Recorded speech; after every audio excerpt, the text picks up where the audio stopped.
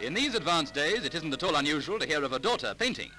But that's a vastly different thing from sun painting, which demands not only skill, but pluck in collecting the material. As a matter of fact, sun painting isn't painting in the accepted sense. Now we're in a nice mess, aren't we? The expression describes the art of making a picture with the wild vegetation gathered on the actual scene of the picture.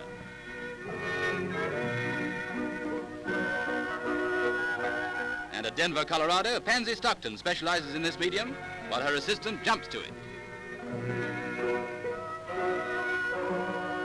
Sun painting is by no means easy.